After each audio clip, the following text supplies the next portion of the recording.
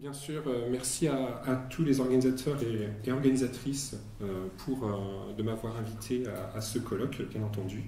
Et mon intervention va principalement porter sur The Witness, qui est un jeu développé par Tekla Inc. et qui est commercialisé depuis 2016.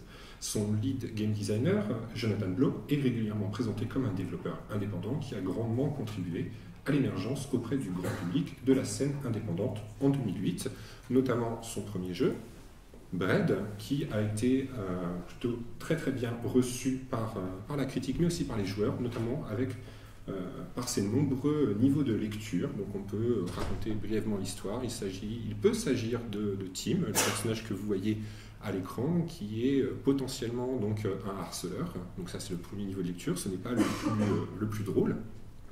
Mais en creusant, on peut y voir une réflexion, comme le mentionne Sébastien Janvaux en 2015, sur la bombe atomique. Et enfin, un dernier niveau de lecture qui a été légitimé par euh, Jonathan Blow euh, lui-même, c'était en fait euh, une recherche destructive de la connaissance sur soi, par exemple, etc. De manière similaire, The Witness est un jeu qui propose de nombreuses lectures à ses joueurs. À partir de nombreux éléments, chacun peut développer une lecture du jeu co-construite par le game design et par le propre parcours de vie du joueur. Dès lors, de nombreux écarts peuvent être observés entre les différentes analyses proposées, mais aussi vis-à-vis des lectures légitimées par l'objet. Ainsi, notre communication apportera des éléments de réponse à la question suivante. Comment modéliser les phénomènes d'apprentissage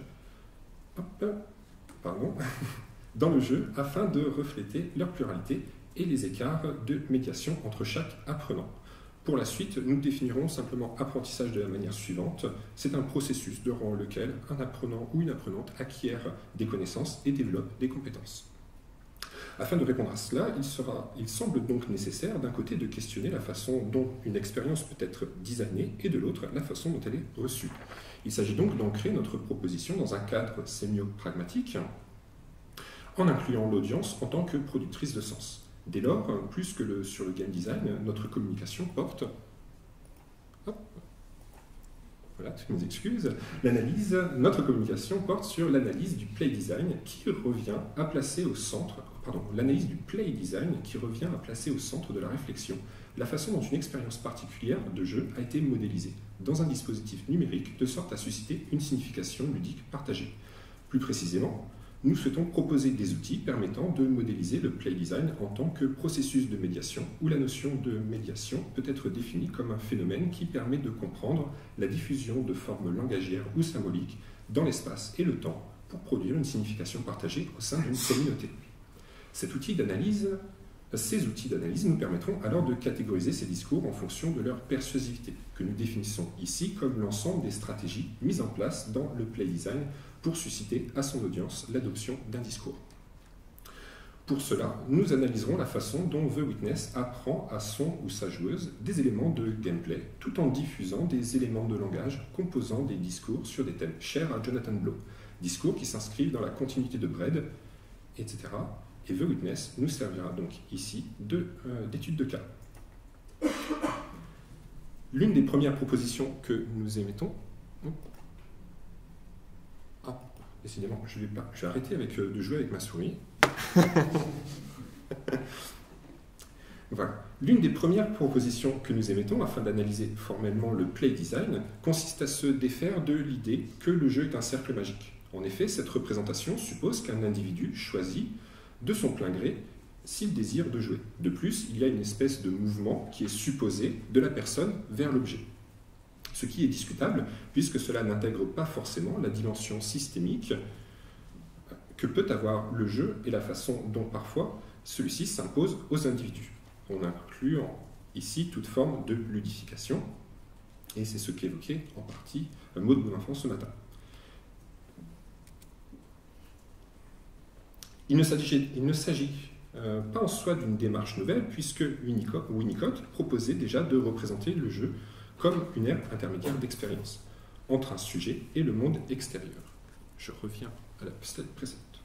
Cependant, afin d'analyser le play design comme une forme communicationnelle dont l'objet est d'apprendre à son audience des choses, des phénomènes, des, euh, des, objets, nous préférons ici représenter les jeux vidéo comme des environnements de développement potentiel.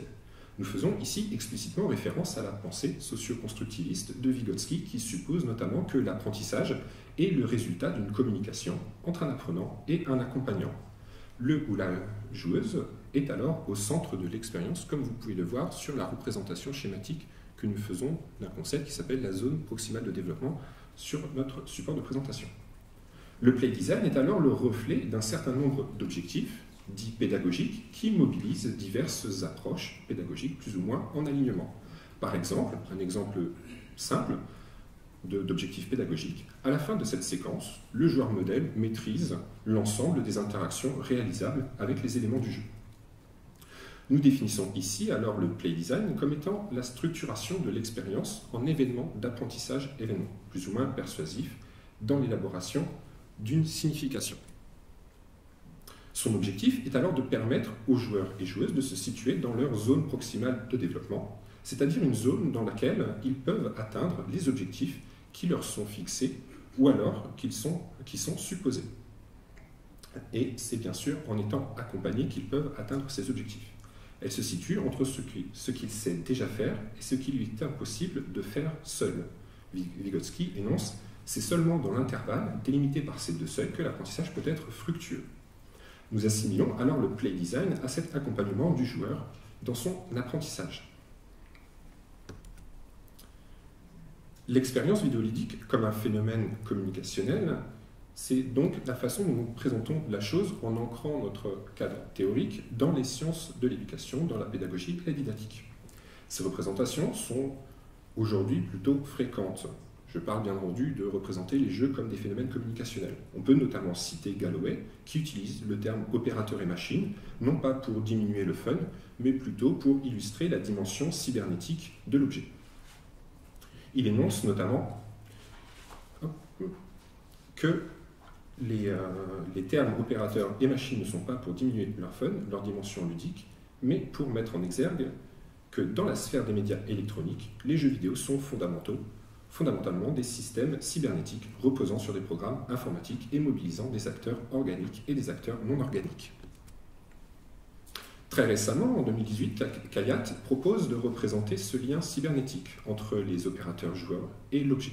Cela prend la forme alors d'un modèle reflétant la rencontre de ces deux acteurs. L'expérience cadre d'un côté et les procédures de l'autre. Cette dichotomie, cette dichotomie est plutôt fréquente aussi on peut notamment citer euh, Jean Vaux qui parle de structure de jeu et de joueur modèle. L'intérêt que nous percevons dans le modèle de Kayat ici, et c'est vraiment ce, sur quoi nous allons nous reposer par la suite, c'est qu'il modélise le lien cybernétique, c'est-à-dire la rencontre, ce que nous énonçons comme la rencontre entre les procédures d'un côté et euh, l'expérience cadre de l'autre. Nous proposons de compléter ce modèle, et plus particulièrement donc le lien cybernétique, que nous présentons ici comme une succession de controverses, c'est-à-dire de rencontres entre d'un côté les procédures et de l'autre euh, l'expérience cadre. Mais cependant, il convient de proposer un outil qui va analyser plus en détail ces controverses.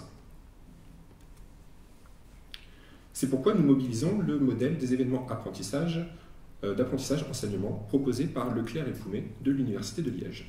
Celui-ci énonce qu'une situation potentielle d'apprentissage est composée d'un ou plusieurs événements dans lesquels chaque actant a un rôle et une mission à céder, à exécuter. Pardon. Leclerc et Poumet identifient huit événements, il pourrait y en avoir plus, c'est tout à fait discutable, mais ces événements viennent caractériser ce que l'on appelle une situation pédagogique.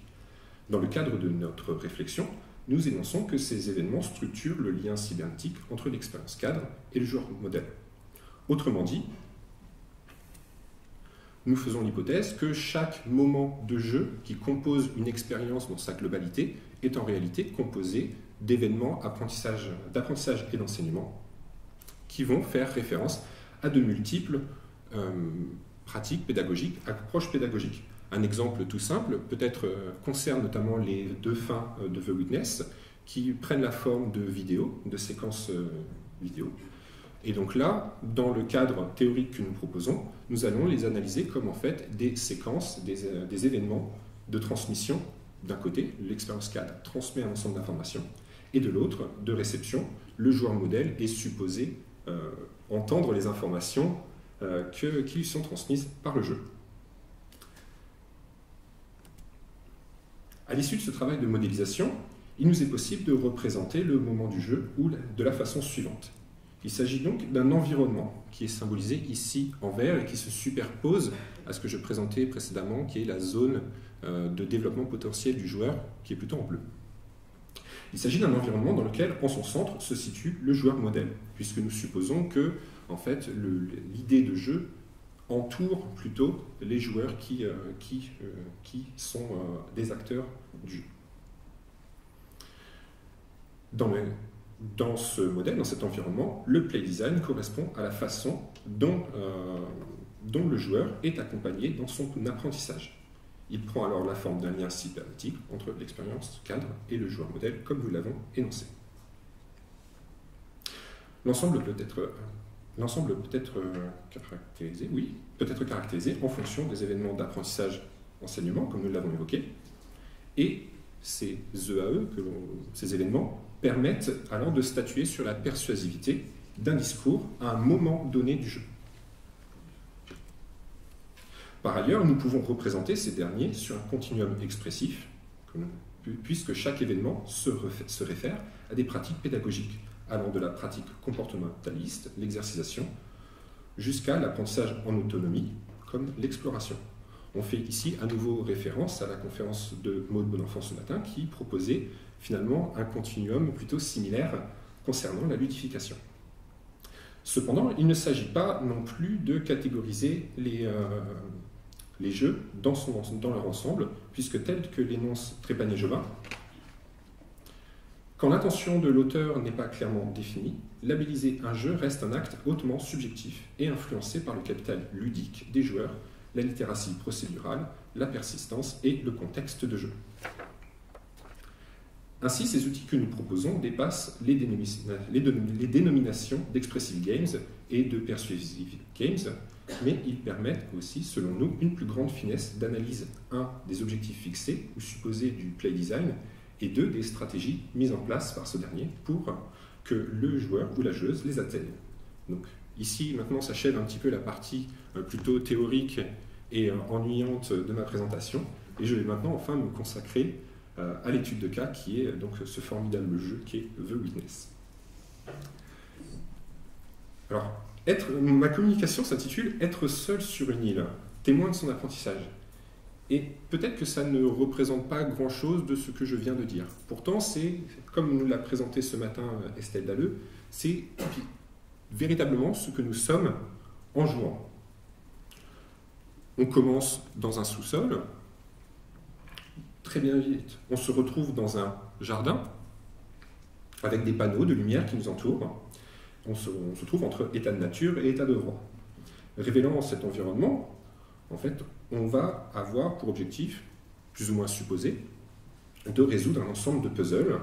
Et au fur et à mesure de notre expérience, nous, en tant, que joueurs, on acquiert des compétences, c'est-à-dire ici des, compétences que l'on définit comme des savoirs agir complexes, qui mobilisent des ressources internes et externes dans une famille de situations.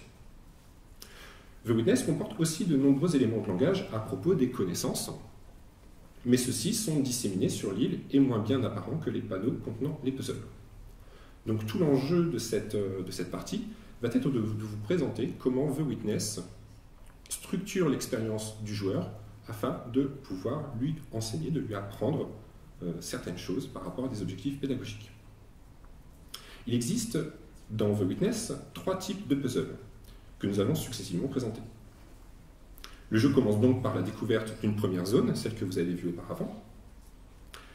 Et très vite, voilà, on résout les puzzles, on avance un petit peu et on va arriver. Voilà, donc euh, les puzzles, comme l'a présenté euh, Estelle Dalle ce matin, il s'agit de tracer une ligne d'un point A à un point B. Et le jeu, au début en tout cas, n'est pas plus complexe que cela. Mais très vite, on va se retrouver à ce que Guillaume Gangean pourrait appeler une première croisée des chemins. Guillaume Ganchon 2018. Donc on arrive à une première croisée des chemins. À droite, on va avoir un premier panorama de l'île. Donc là, nous avons une très belle vision du port, de, donc de The Witness. Et à gauche, nous allons nous retrouver avec un premier, premier puzzle véritablement complexe. Alors pour ceux qui ont joué au jeu, vous voyez probablement déjà la solution apparaître. Mais normalement, en tant que nouveau joueur, on se retrouve tout de suite avec quelque chose d'assez horrible à résoudre. Pourtant, il ne suffit que de poursuivre un petit peu son chemin. On va essayer quelquefois, on va s'arrêter, on, va, on, ne va pas réussir à résoudre le puzzle, et on va arriver à des premiers panneaux qui vont, quant à eux, nous prendre par la main, structurer notre apprentissage en y allant, en proposant une zone proximale de développement très très proche de ce que l'on sait faire. Donc là, l'objectif, c'est de résoudre, les puzzles en séparant les pions blancs des pions noirs. Dans cette autre série de puzzles, par exemple, l'objectif est de passer par les points de passage, euh, qui sont représentés par des petits, euh, des petits points noirs. Et donc, le puzzle, le jeu, nous apprend à structurer, euh, nous apprend à résoudre progressivement des énigmes. Si on se réfère aux sciences de l'éduc, on s'aperçoit que, euh, que le, jeu nous invite à expérimenter des solutions possibles au puzzle. On s'aperçoit aussi que lorsqu'une erreur est commise, le jeu contient des mécanismes de double, de double vérification. Si un joueur parvient à résoudre un puzzle par force brute, au puzzle suivant, euh, si le puzzle suivant est erroné, alors il s'éteint et le joueur doit recommencer depuis le début. Autrement dit, The Witness est un jeu qui envisage son joueur modèle plutôt comme euh, quelqu'un qui va prendre le temps d'apprendre et qui est intrinsèquement motivé par la résolution de puzzle. La seconde forme de puzzle que l'on rencontre dans le jeu est plutôt spectaculaire on voit des. Euh, donc là, vous pouvez voir en fait un mécanisme, aussi une représentation du transfert qui, s'opère.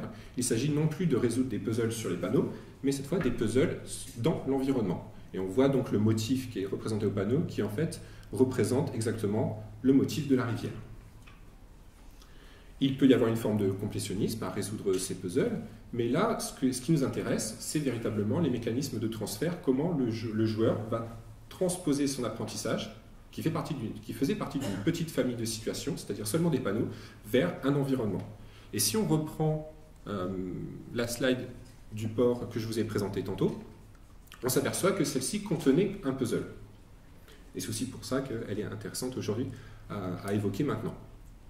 Une fois que le joueur euh, a été accompagné, on lui a dit, OK, maintenant tu sais faire cette chose-là, on va tester ton apprentissage dans une autre situation, dans une autre famille, eh bien alors on parvient euh, à le faire, euh, à le promener, à, lui modéliser un sentier dans lequel il va apprendre. La dernière, euh, les derniers puzzles qui se trouvent dans le jeu concernent ce que l'on peut appeler des easter eggs. Et là, il ne s'agit même plus d'être accompagné par une forme de récompense, mais véritablement de simplement observer. Là, vous avez un premier exemple. Là, ici, vous avez un, second exemple qui est peut-être un peu plus complexe, mais si vous arrivez à plisser les yeux, vous remarquerez que ce buisson est euh, entièrement peuplé de phasmes. On en voit un très simple en haut, euh, en haut à droite. Ou encore vraiment des, euh, illusions d'optique. Et là, si on regarde ce rivage, on peut, peut-être ce sera plus facile en penchant la tête à gauche, mais vous verrez une personne en train de trier.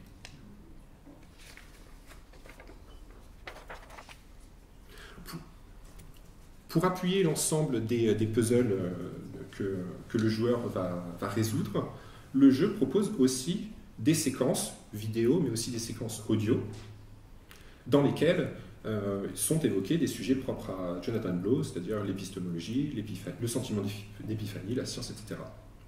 Le play design propose ici une communication plutôt typique en sciences de l'éduc, puisqu'il s'agit tout simplement de phénomènes de transmission-réception, comme ce que je suis exactement en train de faire maintenant, et comme n'importe quel enseignant qui donne cours dans un, un amphithéâtre exécute. À travers la courte présentation que, j'ai effectuée, j'estime qu'il y a deux objectifs pédagogiques euh, dans The Witness. Le premier est le suivant. À la fin de son expérience, le ou la joueuse sera capable de décoder des puzzles reprenant une structure similaire à ceux de The Witness jusque dans sa vie de tous les jours. L'une des fins, notamment, nous y invite particulièrement.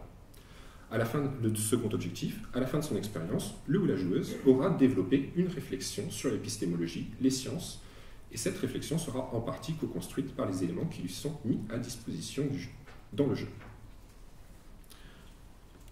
Cependant, on s'aperçoit que le play design du jeu met en place deux stratégies différentes. Pour les premiers, pour la résolution de puzzle, on voit que le jeu en fait met en place des situations d'événements, euh, euh, d'expérimentation réactivité. Donc euh, le joueur expérimente, il s'exerce et il doit observer. La conclusion de cela, c'est plus que on va faire l'hypothèse que le discours du jeu est alors plutôt persuasif. Le jeu veut que l'on comprenne, que l'on parvienne à résoudre ces puzzles. Pour le second objectif, on voit que certes, il y a de la réception-transmission, mais on va plutôt évoquer des événements d'exploration documentation, parce que le joueur est invité à parcourir l'île et à trouver les documents qui, révèlent donc, euh, ces, moments de, ces textes et euh, ces discours. Et bien sûr des événements de méta-réflexion et de co-réflexion, c'est-à-dire que le joueur est laissé à lui seul dans sa, dans sa réflexion. Ici, on suppose que finalement, l'intention du, du play design est plutôt euh, expressive, puisqu'elle laisse une grande liberté à son joueur d'expérimenter, mais aussi d'apprendre, une grande liberté en fait dans son apprentissage. Donc finalement, si on reprend euh, ce, petit schéma très, euh, que je propose, en fait, dans la zone proximale que l'on peut voir, vraiment la zone où l'apprentissage est le plus efficace, le plus pertinent, en fait, il y a tout un tas d'événements que le joueur rencontre et en fonction des deux objectifs que j'ai énoncés, le premier, il va, ça va être des, plutôt des événements qui vont être persuasifs, tandis que dans le second objectif, ça va être plutôt des, événements qui sont euh, expressifs. Et donc, pour atteindre ces objectifs, les séquences sont euh, généralement plutôt euh, là on est vraiment aux antipodes et vraiment à ce que je souhaite aborder, c'est-à-dire les écarts de médiation dans le jeu The Witness et en général. Afin de, conclure euh, brièvement sur, euh, mon propos, en fait, si on me demande personnellement euh, ce que signifie The Witness, quelle est la lecture que, que j'ai de The Witness, eh bien, je répondrai en premier lieu qu'il s'agit d'un jeu d'exploration dans lequel, si on veut, il est possible de résoudre des puzzles. C'est tout. En bon gamer theorist, je pourrais aussi dire que j'y vois une réflexion sur l'exploration, le voyage, les connaissances, etc., etc. Et depuis ma recherche, euh, notamment de documents biographiques sur Jonathan Blow, je pourrais aller jusqu'à dire jusqu'à un dernier niveau de lecture en disant qu'en fait The Witness est une réponse à la question que posait Jonathan Blow dans Bread. La question euh, qu'il posait, c'était euh, est-ce que la recherche de connaissances est destructive pour la personne? Celle qu'il formulerait potentiellement dans The Witness serait de dire que bah, finalement on n'a pas besoin de chercher. Et que ce n'est pas une mauvaise chose. Qui est intéressant de, ce que je considère intéressant de, mentionner en dernier lieu, c'est que généralement les recherches sur, euh, euh, qui s'intéressent qui, aux jeux vidéo comme des outils, potentiellement utilisables dans un contexte pédagogique, en fait, cherchent précisément à prouver que les objets sont des objets potentiellement utilisables, que les objets vidéoludiques sont des objets potentiellement utilisables dans un contexte pédagogique.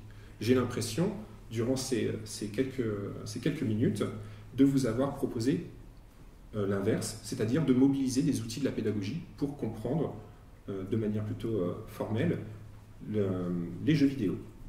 Et pour poursuivre ce travail, il pourrait être intéressant de, nous focaliser notamment sur le joueur modèle et la façon dont nous pourrions le définir en, mobilisant, encore une fois les outils issus de la pédagogie. Donc on sort des typologies plutôt typiques des joueurs de jeux vidéo.